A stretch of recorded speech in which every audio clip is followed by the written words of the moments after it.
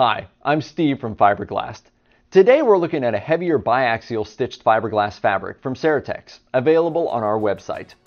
This fabric weighs in at 989 grams per square meter and is available in both 50 and 25 inch wide formats.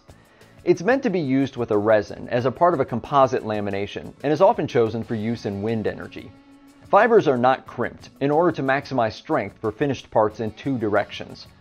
High-strength polyester threads are used to stitch equal-sized bundles of fiberglass at plus and minus 45 degrees, with stabilization fibers stitched throughout. While this fabric is thick and not suited for small details, it's easy to handle during fabrication and ideal for vacuum infusion. It lays smooth, wets out quickly, and can be used with any of the resins on our website to produce a fiberglass composite with excellent strength, low weight, and great cosmetics. The Saertex name on all our stitched fiberglass means you won't find better quality in this category. And with the first quality commitment from Fiberglast, you can count on the same finish, sizing, and handling characteristics every time you order from us. Find more information on our complete fiberglass selection at fibreglast.com or when you subscribe to this channel.